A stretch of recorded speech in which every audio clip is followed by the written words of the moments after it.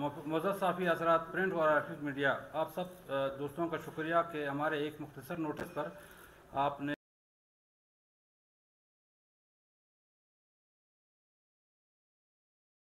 कुछ संगीन मसाइल है जिसकी सुनवाई ना होने की वजह से आज प्रेस कॉन्फ्रेंस की ज़रूरत पड़ गई। नवाकिली के आवाम के मफादात और दुकानदारों की तकलीफ़ को मद्दनज़र रखते हुए अंजमन ताजरा, नवाकिली, उलस तेरी और अंजमन एहतियात खाकरेज मस्जिद ने मुश्तर तौर पर यह ज़रूरी समझा कि इन मिसाइल को प्रिंट मीडिया और इलेक्ट्रॉनिक मीडिया के ज़रिए उजागर किया जा सके। सबसे पहला मसला गैस का है, जिसकी समात हाईकोर्ट में हो रही है और उसकी कल उन्नीस तारीख को पेशी है। दूसरे नंबर पर एक संगीन मसला जो कि बिजली का गैर एलाना लोड शेडिंग और इलाके के S D O Malak Waqar के नामनासिब रवैये और उसके करप्शन से मुतलिक है। नंबर एक ट्रांसफार्मर ख़राब होने की सूरत में तखीरी अरबे इस्तेमाल किए जाते हैं। और आवाम को S D O Malak Waqar और उसके मातहत मुलाजमीन इस बात पर मजबूर करते हैं कि उनको ट्रांसफार्मर की मरम्मत और तनसीब के लिए दस हज़ार से लेकर सोलह हज़ार तक दिए जाएँ। इसके बाद अगर ट्रांसफार्मर लगा दिया जाता है तो गैर मैारी मरम्मत की वजह से दो दिन में वापस ख़राब हो जाता है और फिर पैसों की डिमांड की जाती है।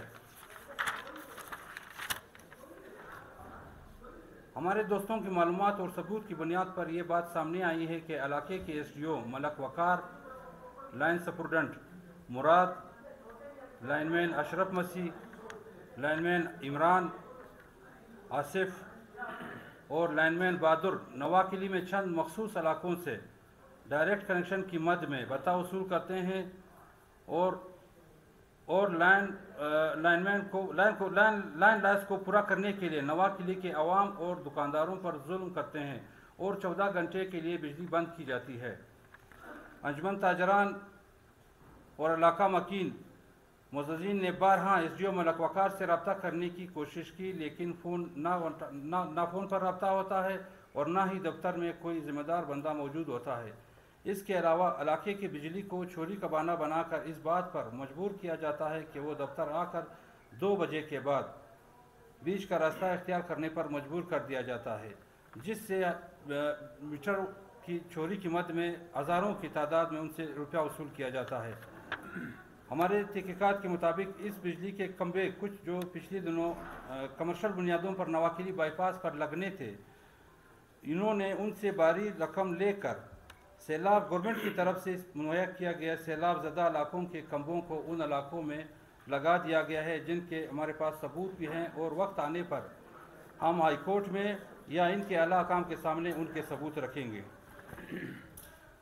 नवाकिली बाईपास पर कुछ ऐसे प्लाजे भी हैं जिनसे Malak Waqar line line superintendent Murad, लाखों रुपया बगैर ट्रांसफार्मर और मीटरों की मद में वसूल करते हैं।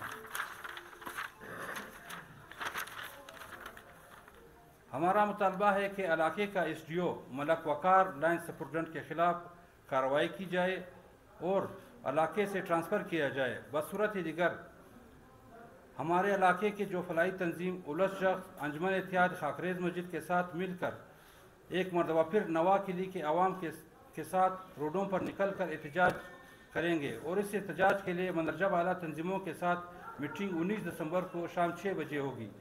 और बहुत बहुत बहुत जल्द ही इस सिलसिले में एहतजाज का ऐलान किया जाएगा जो इसी हफ़्ते में होगा। आ, इसके साथ ही हमारे गैस का जो संगीन मसला है उसके आ, कुछ नुकात भाई भगवान साहब बताएँगे।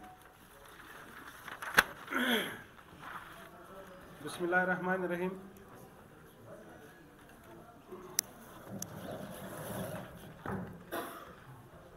जैसा कि आपको, आप लोगों को पता होगा, पिछले दिनों हम लोगों ने एक, खूबसूरत धरना भी किया था। गैस अकाम के ख़िलाफ़। फिर उन्होंने तीन दिन का वक्त लिया था, सिर्फ़ तीन दिन का।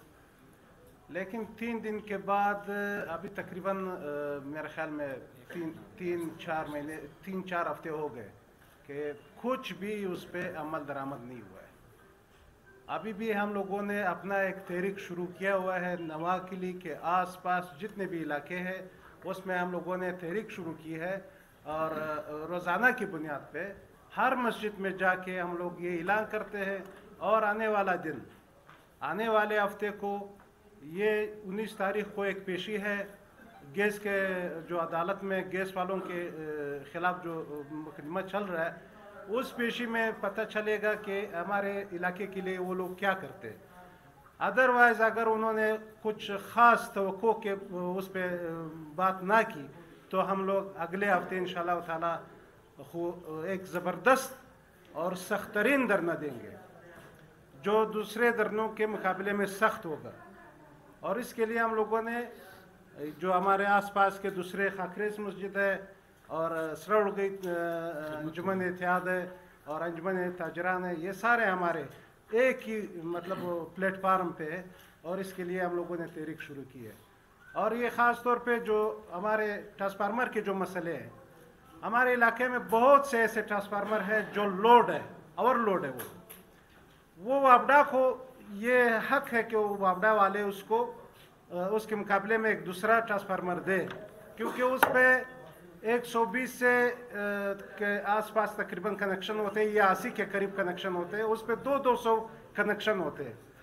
और वो बार बार ख़राब होने में इन लोगों का अपना एक कारोबार बना हुआ है और कारोबार इन्होंने इस पर लगाया हुआ है।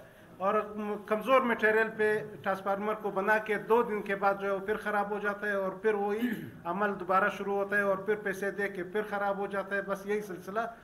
तकरीबन मैं आपको लोगों को ऐसे इलाके बता सकता हूँ कि वो दो दिन मुसलसल उनकी बिजली मैसर नहीं होती। अभी क्या वकार ने ठेका ले, ले रखा है कि भाई तीन चार साल से या पाँच साल से वो हमारे इलाके में एस बना हुआ है? तो यही तो गठजोड़ है। इन लोगों का जो ऊपर के आकाम है सब के साथ ये गठजोड़ लगा हुआ है और पैसे छोड़ रहे हैं यहाँ से इलाके से। वहाँ पे बस इन्होंने अपना एक धंधा बनाया हुआ है। इन ताला अगले हफ़्ते हम लोगों का प्रोग्राम है इन सब के खिलाफ एक अच्छा और सख्त तरीन धरना देंगे इन ताला मेहरबानी आप लोगों की ऑफिसर